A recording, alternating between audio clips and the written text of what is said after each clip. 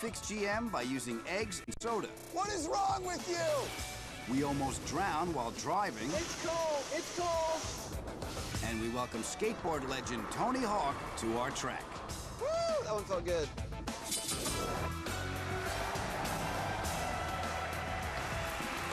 Welcome to Top Gear. On this show, nobody will be made an ex-top model. Nobody will fall off a big red rubber ball. But if you like cars, this is where you belong. I'm Adam Ferrara, that's Tanner Faust, and this is Rutledge Wood. We start tonight with General Motors. A few years ago, the U.S. government bought about 60% of GM to help save the company for $50 billion. That's $50 billion paid to the U.S. government by you and me. That works out to $163 per person. And for 163 bucks, we all get a part of GM. A very small part. It's point zero zero zero zero zero zero zero two percent, to be exact. So the idea is that if we can find one top-selling car for GM, we would all win. So we each picked a great GM car from the past. We put it through a series of tests to see which one would best protect our investment.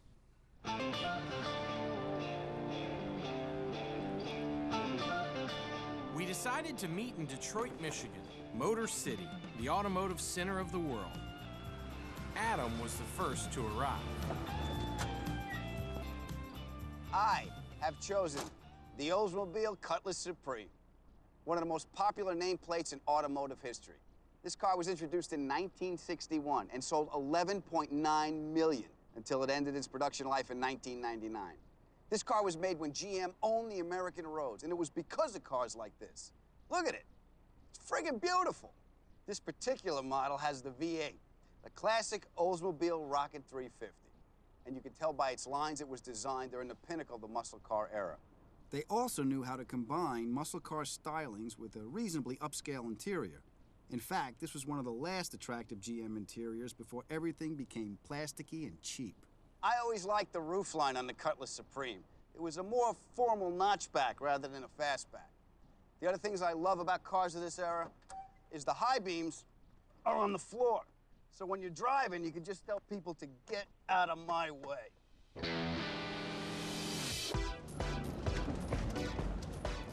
Tanner's a Coke dealer.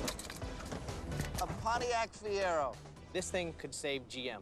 It's like a hero car. It's like an exotic car for every man. It's a chick's car, It's the only mass-produced mid-engine car ever in America. which they stopped after four years. It's designed after a Ferrari 308. It's gold. Fiero in Italian means proud. Absolutely. You brought back a fad, okay? This is basically parachute pants. I had 26 zippers on one pair of pants. You know what? That doesn't surprise me at all. You found the biggest car in a 50-mile radius and bought it again. Yes. What is up with that? That's great. It's a man's car. It's an old man's car. No, no, no, no, my friend. This is the 71 Cutlass Supreme. That's an executive hot rod. What do you think Rutledge is going to get? I have no idea. Oh my God. Mom's here? You're kidding. Fellas, allow me to introduce the Buick Roadmaster Estate Wagon. Tell me the inside doesn't smell like Virginia Slim cigarettes. Look, it holds eight people with the seats down. You can fit a four by eight sheet of plywood, and it'll tow 5,000 pounds. It's got the Vista roof. Yeah, how about that?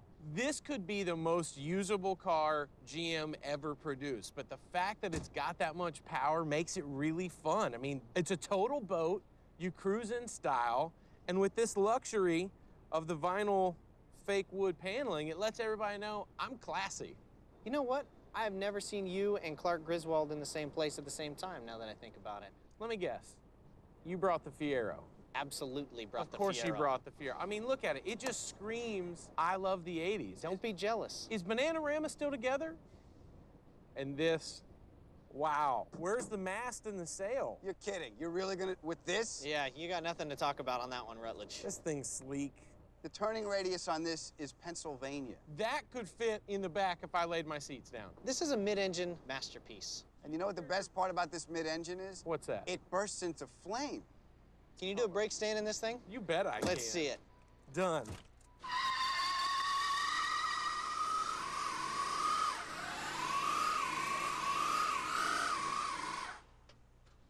It's a Buick, all right. Wow. Look at that. While the smoke cleared, it was obvious we were never going to agree which out production car was the best. But fortunately, the producers had come up with a series of challenges to help us decide. America loves a road trip. So to prove that your vehicle has the stamina for the long haul, you'll need to drive them 100 miles to Marshall, Michigan. Are you kidding me? Road trip and the Roadmaster. You're gonna be surfing that waterbed. I'll be there waiting for you, fellas. Have fun in the Incredible Hulk. It's a test color. We were representatives of the American people. And if our hard earned dollars were going to a car company, we were going to make sure that car was the best. The cars deserved a second chance. Who knows what variables were at play when these cars were in production that might be different today? The car may have failed because they didn't have the proper technology to make them competitive. They could have had a bad marketing campaign, or the design could have been too ahead of its time. Freaking light doesn't work. Come on. We were on a road trip, and it was the perfect time to get to know our cars a little better. There's the cops right there. If there's any car that attracts attention in this group for the police, it's the Fiero because this thing looks fast just standing still. In the 80s, Fiero actually took down the almighty Mustangs and Camaros at Sears Point consecutively. The balance of the mid engine is undeniable. Ferrari has found success in it, and their whole brand is based on racing. 140 horsepower, though. I mean, mid 80s, that wasn't bad. 2,500 pound car. It's pretty quick. You can put your foot in it. That's not bad. The Fiero is really about a great concept and a poor follow through. In large part, it was due to a recall where they actually had to fix every single Fiero ever made. Ooh, what's that? A little power. There we go. Under the hood, you've got a detuned LT1, so it's basically a Corvette motor with a little bit different heads. These are geared so you can really get this car up and going because it weighs almost 4,500 pounds. You need a little torque to get you around. Maybe things that aren't so great about it. Well, it is a little floaty. The suspension could be a bit tighter, and the seats don't really hold you. You like my car? I do. Roadmaster. It's a station wagon. You probably didn't even notice. I love you. Look at that. Pretty girl's talking to me in the wagon.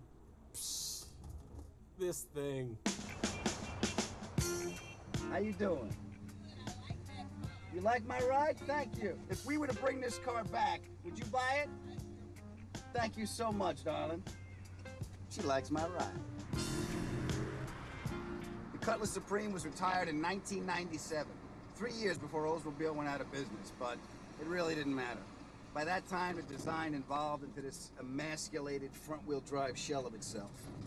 Not like this sweet ride I'm in now. This is a luxury muscle car. It's got everything in it. AM FM stereo, that doesn't work. Air conditioning, that needs to be fixed. But it's got the Rocket 350. It handles a little boat-like. Not like Rutledge's Staten Island Ferry. This really is one of the best road trip cars you could have. When this was new, this is a car you would pack the family into and head across the country to Wally World. Sorry, folks, park's closed.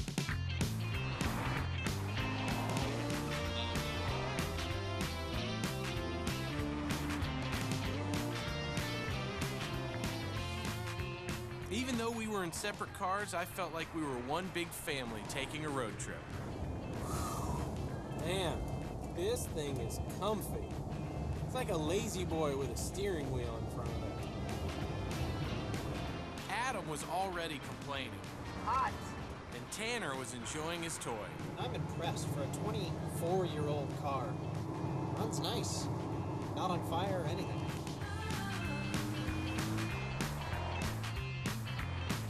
You brought back this car, you could not only save GM, but you could also make some cool cars. You make the wagon, off that you build a Caprice, a Hot Rod Impala SS, and then cut off the back of the wagon, what do you got?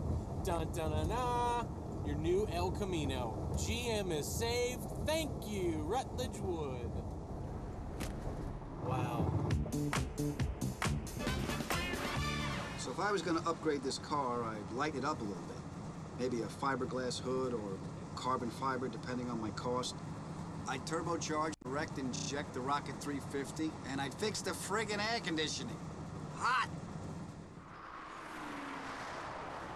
Tanner, are you gonna put another tiny, hard to work on V6 back there? Negatory, my friend, LS7. Are you gonna change that in your redesign? The redesign's gonna be epic. Believe me, it's gonna start with a race car, and it's gonna trickle the technology into the road. It's gonna establish GM as a world racing power and change the brand altogether. The majority of y'all's target market was conceived in the back of a Roadmaster wagon. I know that much. Granted, you got that one.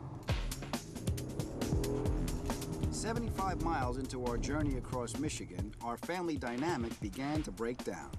Papa Bear was getting annoyed because the cubs were wandering. Tanner, you might want to just slow down just a hair. Right, Dad. I'm going the speed limit. Slow down! Don't make me separate you two. You guys can't keep up? This will help. If you'll slow down, get in the right hand lane, and the three of us get together, then no one will sound like an. Too late. It's like eight year olds with licenses. That's what a road trip is like with these two. Our cars successfully completed their first challenge the 100 mile road trip to Marshall. But soon, we realized that the producers didn't just send us to any town. Marshall was home to Eaton Proving Grounds, a place where our three cars would enter, but only one would leave.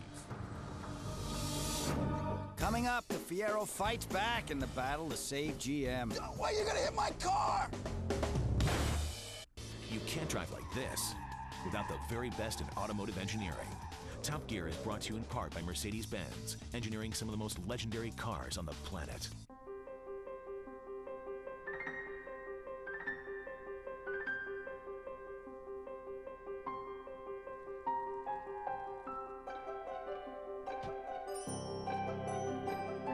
Some people just know how to build things well.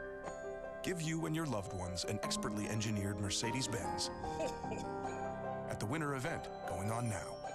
And stay connected with three years of mbrace service complimentary. We were flattered when Regenerist beat a $100 cream, flabbergasted when we creamed a $500 cream. For under The 100 mile round trip in our out of production GM cars ended at Eaton Proving Grounds, an automotive torture chamber. This proving grounds was like Marine Corps training for cars. It had a bank test track designed to wear down every moving part. An intimidating hill that seemed to stretch straight into the sky. And a skid pad so slick you could ice skate on it. Each section was designed specifically to expose a car's greatest weakness. This was not going to be a walk in the park, but it would help us decide which car was best to bring back from the dead. Our first challenge at Eaton was a classic 0 to 60, and the Roadmaster was ready for it. What are you gonna do in the power wagon there? I'm going 9. Days? You guys want to make jokes or want to watch me haul ass? Go! Nice lawn. I like it. 40, 50, 60. Shade over nine seconds. That's a pretty fast grocery getter. I used most of a tank right there. Rutledge got the Titanic moving quicker than I thought, but it was still going to be no match for my Rocket 350.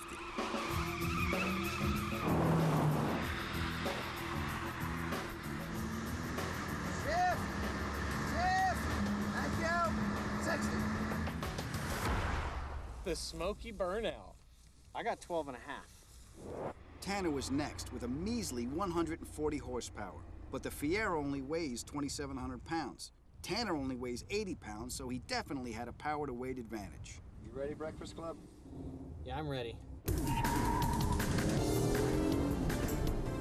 There's 40, 45, 50, 55, 60. I don't know how that looked from the outside, but damn, that was so fast inside here. What was it? Come on, let's go. Tanner's Fiero had beaten the Roadmaster by a full two seconds. It was time to go on to the next challenge. You may have noticed a Top Gear production vehicle parked on a 20% grade incline. It's being held by its parking brake. This is your next challenge. Drive up the incline, put your vehicle in neutral, apply the parking brake, go pick up the bowling ball, put it in your car, and drive over the hill. You know what? I'll go first. Great. Roadmaster should. It's just you and me. Got nothing to worry about. I'm just gonna pull up this hill, and then I'm gonna put you in neutral. And then I'm gonna put the parking brake on, okay? Look, he's got to get psyched up to go do it. And I need you to brake so I can get that bowling ball. Come on, Roadmaster. Here we go. Nice and easy up the hill. And there's the bowling ball. And Is it going to hold? I heard it. Okay. Okay. I don't know if I would get out of it. That door's gonna close and lock on him.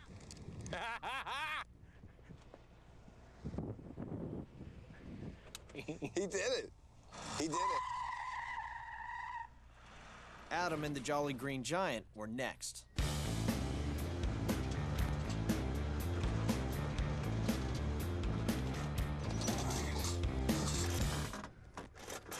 Sounds like it's there.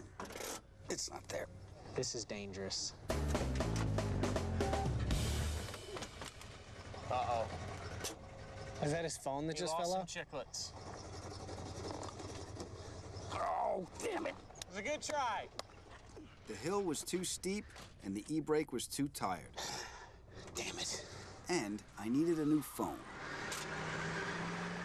Next, it was Tanner's turn.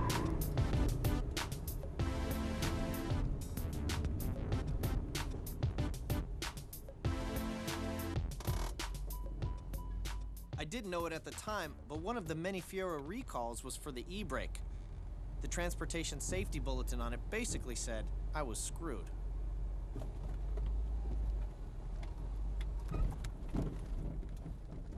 Dude, Why are you gonna hit my car?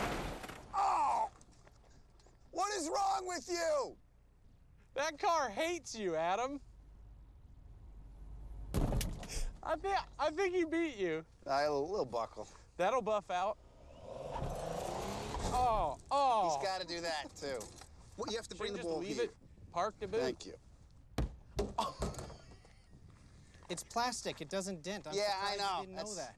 Rutledge was getting so confident that he decided to peacock a bit and attack the 60% hill climb. Oh, I got this. Go!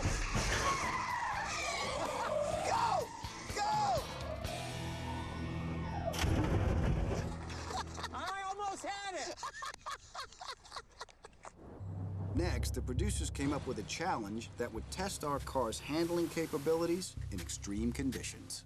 The professionals at Eaton have set up a course on their low traction skid pad. You'll need to navigate your way through the cones. It doesn't sound so hard. Nah. Cool. You'll be given 10 32 ounce cups of soda that all have to be within reach. The car with the fastest time and the least amount of spillage wins. Oh, I forgot it's a manual. That's gonna be tough. There would be a five second penalty for every soda that spilled. And the best news of all, Tanner had no cup holders. One, two, three, four, five, six, seven, eight, nine, ten. Here we go. Three, two, one, go! Oh, God! It's all gone! Did you see how much just went There he down? Goes. Oh, that's so cool. Oh, they're gone. They're all gone. So I gotta save at least one of them. Oh, it's cold, it's cold, it's cold on the ball. Mother of all that is sacred. Is that one cup left? what was the bad There were idea? two cups. Rutledge was next. All right, Rutledge. Ready? Rutledge's La-Z-Boy on wheels was practically built out of cup holders. Now remember, it's a combination of Speed, time, and spillage, so the time is critical. You ready? go! Oh no! Oh, that's so cold! Hold on with me, right? Wow, he's going pretty quick, actually. Oh, just let it stop. Yeah. Oh! Ah. Come on, Rutledge. And stop. oh my gosh. Look at all these. Look at how much I saved. Not Yeah. bad, Rutledge. That's pretty good. Oh, gosh. You have five full cups left. That means I was wearing five cups. I didn't feel so bad because Adam was next. And his car didn't have any cup holders. Three, two, one, go! Oh, oh, Oh, that's cold. I think my left one was just frightened into my body. Always fun. Oh, Don't that is gonna be wet. Oh, he's coming into the box. He's finally getting there. Oh, come on! And stop. Adam saved four cups. Then the producers made us do our own math to figure out the winner. Okay, so I got a 109, Yeah, you had a 109 and a half. Yeah. 109 with a four cup penalty, which is 20 seconds. So I got 129. So I had a 51. So I had about a seven minute run. Pretty much. Really? I had a 55 second run and I lost five cups, so that would mean a minute 20. That means I won! This is awesome! This is awesome! What's next? Bring it on! The Roadmaster's ready! Woo!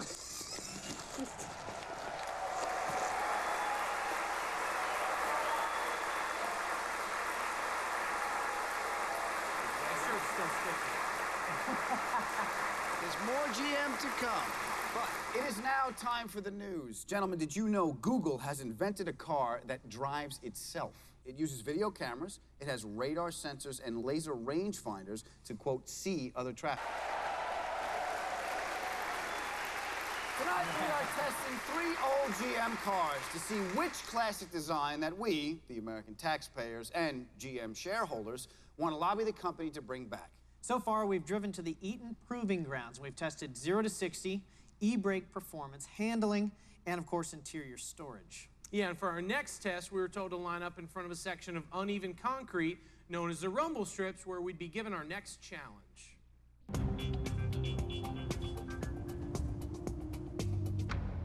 All right, fellas. Most cars that are tested on the rumble strip drive at 20 miles per hour. You are going to drive at 30 miles per hour. A colander of eggs has been attached to your driver's side headliner. The person with the most eggs left in the colander wins. Really? You want to start it off? Yeah.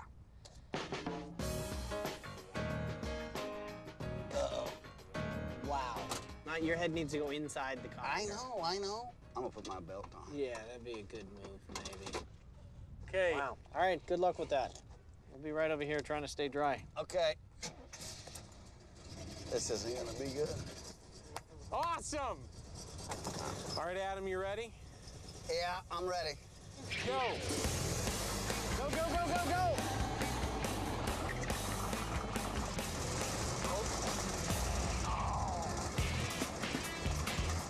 There we go. We're almost home. Yeah. That seems so violent. Yeah, that was worse I at thought the trunk was going to blow off. It doesn't look that bad. Oh, yeah. How would you describe that? Uh, Yoki, my cholesterol actually went up. Who's next? Tanner's up. You ready? I'm ready. Go! There you go. Oh, no! The Fiero's double wishbone suspension was communicating every bit of the rumble strip to the steering wheel, as well as the colander. That was. He has got some egg on him now. Oh. Thank you. Rutledge was next. Your head makes that colander look so small. you ready, Rutledge? Time to make an omelet. Go! Oh, they're moving. I can hear them moving around in there. Oh, oh, oh, oh! He's all over the place. Wow, this is rough. This really does feel like I'm in Detroit. Oh, oh, oh no. That was awesome. I hope he broke all the eggs. I don't have any on me. This is amazing. Da- oh, uh, Come on! what? Dry as a bone? No, you got a little shock absorber in there. Nothing. It's not my fault, it's the Roadmaster. I say we check the eggs. Sure, let's check the eggs. I have seven unbroken eggs. Are those hard boiled? No. Well, they're not hard boiled. Can you hit the middle of his uh, window? Yep. Let's see. I think I can hit from back here. Oh, you're gonna, you're gonna throw. Oh, not in the, not in the Roadmaster. In the end, we had more eggs on our cars than left in our colanders. The SS Roadmaster was victorious. What's wrong with you? Up to this point, each of our cars had put up a good fight, and there was just one challenge left to determine which car GM should bring back. We asked the producers if we could change our sticky, egg stained clothes, and they were happy to help us out.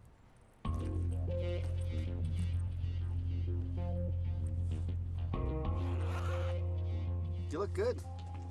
Does this suit make me look fat? Yeah. Really? They're supposed to be slimming. Once two thirds of us were nice and comfortable in our new outfits, we received the final challenge. This challenge is to test your car's build quality. To do this, your cars will be filled to the top with water, and then you will drive around the track. When the water level drops below the steering wheel, you will stop. The person that drives the furthest is the winner, which would make the wetsuits make How sense. How are you gonna drive underwater? Oh, well, here, there's a snorkel and a mask. You'll be fine. You kind of have a little advantage here since this turd bucket only holds like 30 gallons of water, I would guess. So I've got to shift gears underwater. Yes. You're hosed. Your car's gonna hold a swimming pool inside it. You know how much that's gonna weigh? I'm telling you right now, though, I'm warm. If you get uh, cold in there, they say you're supposed to pee in it. you know what helps me? I do a couple deep knee bends. Get it right where you need it. A couple twists here. All right, put your belt on. No way. I'm not putting my belt on. Then our water source arrived. Oh, it's a fire engine water? Yeah. Oh, that's gonna be warm. Oh My gosh. Oh, that is a big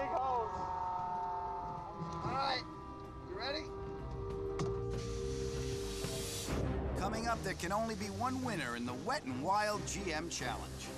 Dear Lord, I don't want to die in a Buick. Tonight on American Pickers. Oh my gosh. Oh, that is a big hose. All right, you ready?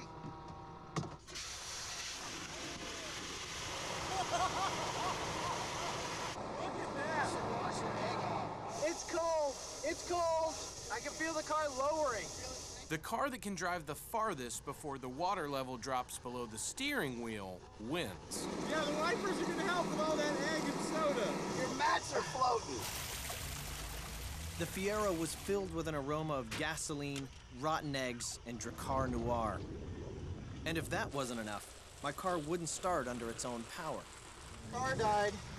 So I asked the guys if they would help me out. Oh, good. How much is that weigh? Throw it first. Good God. Come on! Hey, wait a minute. Hey, we're trying to beat him. You're right. Bummer. It wasn't looking good for the Fiero to make it back into production. Now it was my turn. And without any of those pesky modern electronics, my Cutlass should do just fine. Holy crap. It's already coming out. He's looking for a gear. Dude, look at the car. It looks a lot better. wow, it looks great like that. It's American build quality right here. All right, Adam. Go, go, go, go!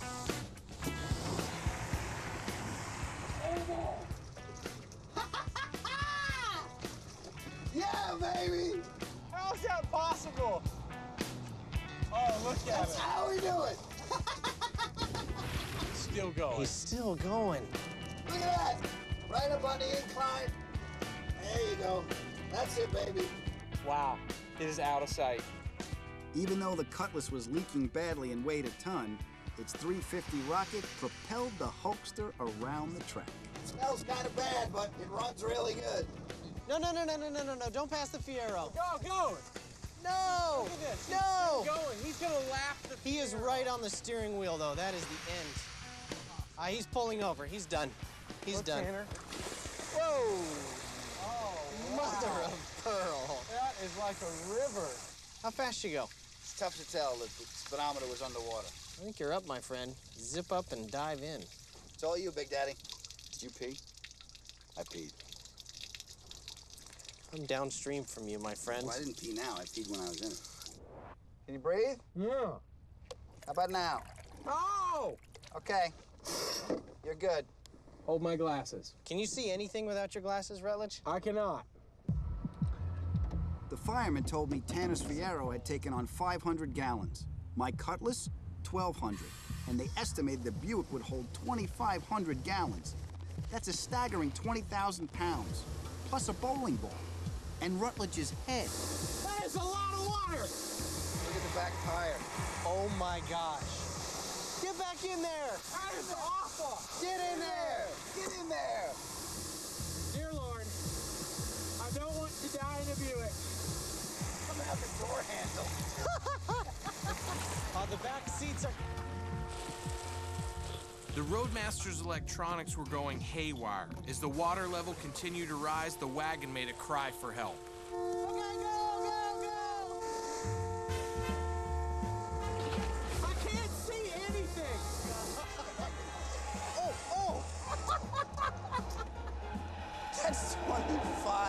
25,000 pounds driven by a blind man. Come on, baby. We should just look for smoke. Yeah. My Buick was performing beautifully. If my family truckster could make it past Adam's Cutlass, it would be going back into production.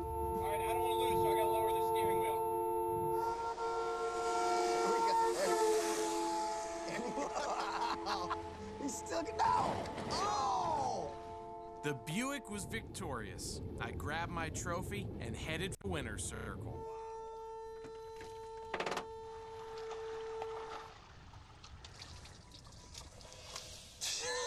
okay, there's your trophy. Very well done.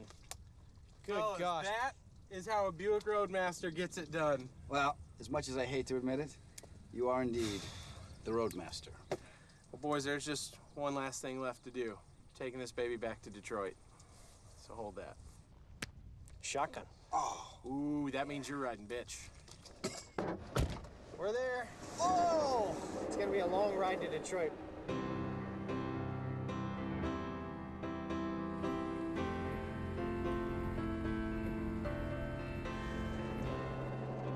Uh, there's some sort of electrical noise coming from down here. Don't worry about that. It's just by your feet. There's an apple cookies you eat on the way. I got hungry.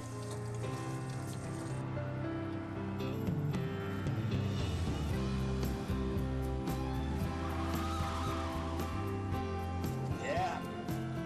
Dear GM, throughout the history of your company, you have committed yourself to building great cars for the American people. But we think it's time you do more than build a car for us. We think you should build a car with us.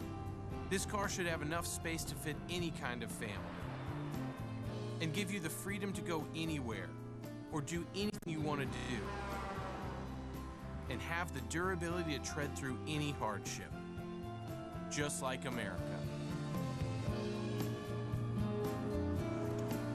Thank you.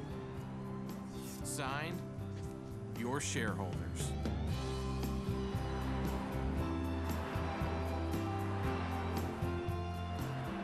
Good work, fellas.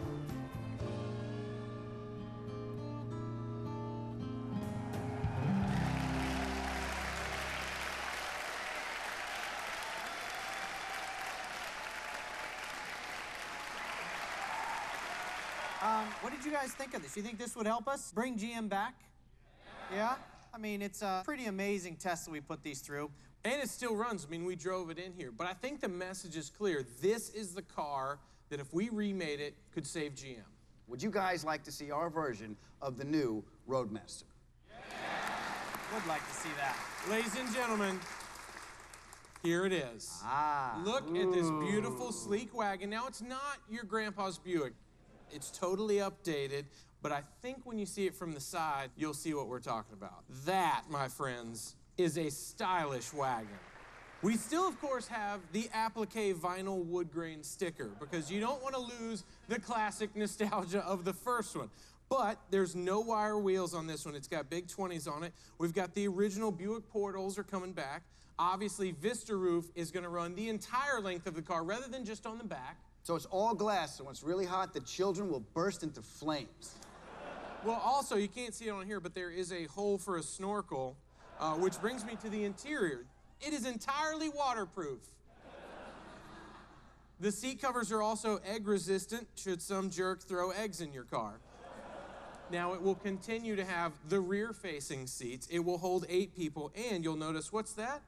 Hey, wait a second. That's a six speed. Oh, yes.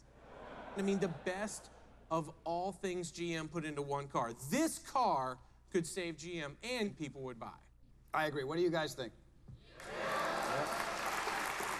I'd drive it. I would drive that every day.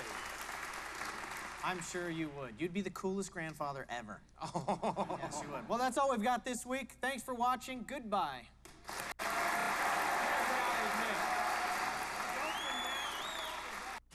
What if I